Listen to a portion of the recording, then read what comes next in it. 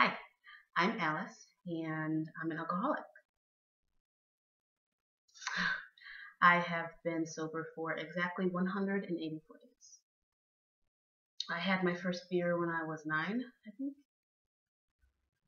My dad was an alcoholic, so my mother would blame my problem on his bad habit. That way she could hurt us both at once.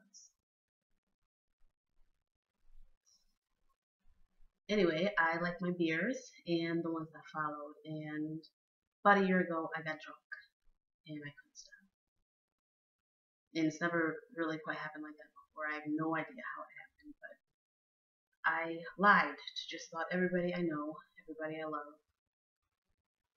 I guess I was just terrified, scared, and humiliated. And I didn't know what to do.